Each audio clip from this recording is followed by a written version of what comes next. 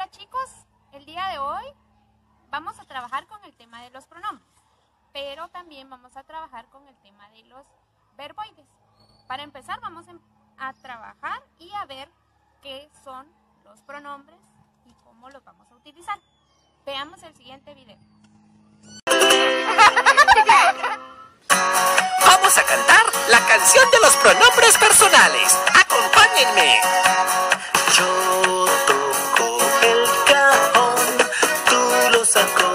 En la guitarra, él toca el tambor en la canción de los pronombres. Nosotros hacemos las palmas, vosotros la percusión. Y ellos que canten el coro de esta canción.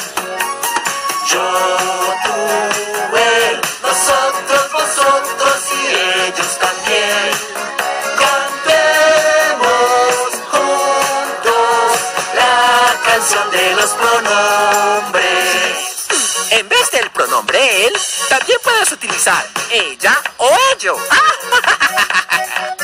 Yo toco el trombón, tú los acordes en el piano. Él toca el violín en la canción de los pronombres. Nosotros tocamos maracas. Vosotros a callar. Y ellos que canten el coro de esta canción.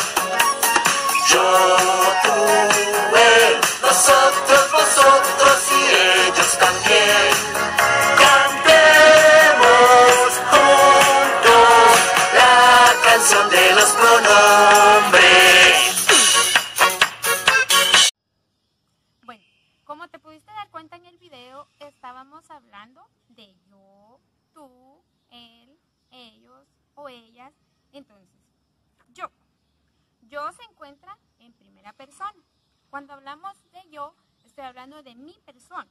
Y si estoy en un grupo, eh, tenemos que hablar en plural, que es nosotros. Y estamos hablando siempre en primera persona.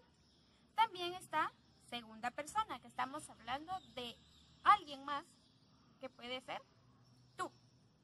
Entonces, cuando hablamos de tú, estamos hablando, si yo estoy cerca de una persona y le puedo decir tú o usted, Dependiendo con quién estamos tratando.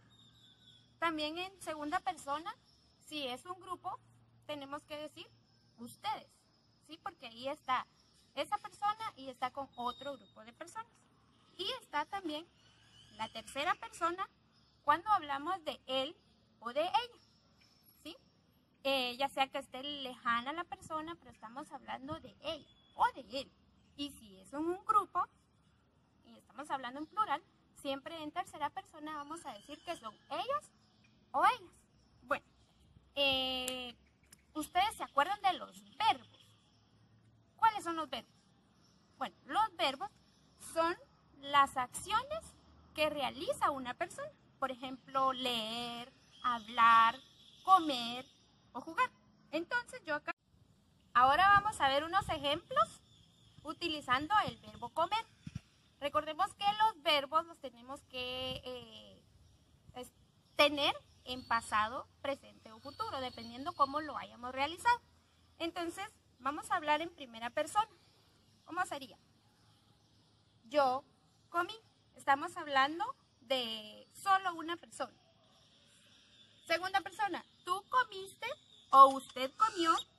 Y tercera persona, ella comió o él comió. Entonces, si estamos hablando en plural, vamos a, trabajarlo también de la siguiente manera. En primera persona sería nosotros, porque yo estoy incluido ahí, ¿verdad? Entonces sería nosotros comimos. En segunda persona estamos hablando de ustedes sería ustedes comieron. Y en tercera persona, ellos o ellas comieron. ¿Sí? Como les dije que íbamos a hablar de dos temas. Entonces, ahora vamos a hablar sobre los verboides. ¿Qué se les viene a la mente cuando decimos verboides? Suena así como los verbos, ¿verdad? Sí, pero los verboides los vamos a trabajar de la siguiente manera. Primero, tenemos que saber qué es un verboide. El verboide o los verboides son formas no personales del verbo. O sea que no vamos a utilizar pronombres. Porque no se pueden conjugar en tiempo, que es pasado, presente o futuro, tampoco en persona, que sabemos que son yo, tú, él o él. Y se dividen en tres, que son infinitivo, partitivo y gerundio. Bueno, ahora vamos a ver cada uno de ellos y cómo se realiza. Los infinitivos sirven para nombrar. Entonces, estamos hablando de los sustantivos.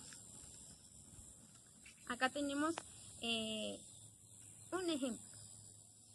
Se construye agregando la terminación ar, er e ir. ¿sí? Y nosotros acá tenemos un ejemplo con una oración. Beber agua es salud. ¿Dónde está el verbo y cuál es su terminación? Observen bien. Muy bien, acá, ¿verdad? Beber, si se dan cuenta, termina en er. ¿Sí? Ese es un sustantivo que lo llamamos infinitivo. También tenemos los partitivos. Estos expresan cualidades del nombre y eh, expresa un estado. En ellos encontramos, eh, a ellos son los adjetivos y se construye al agregar las terminaciones ido, to, so, y cho y también ad. ¿Sí? Observen bien y también tenemos un ejemplo que dice Carlos ha reído mucho. ¿Dónde está el verbo? ¿Y cuál es la terminación? Exacto, aquí. Observen. Reído. Termina en do. Bueno, esos son los partitivos. Y también tenemos por último los gerundios. Que acá dice cómo sucede la acción. Y en ellos los podemos encontrar como adverbios. En este caso, se construye al agregar la terminación ando e yendo. Ejemplo, estoy mirando televisor. ¿Sí? Acá, miren, en esta oración, y lo encontramos acá, mirando, termina en ando. ¿Ok? Esos son los adverbios.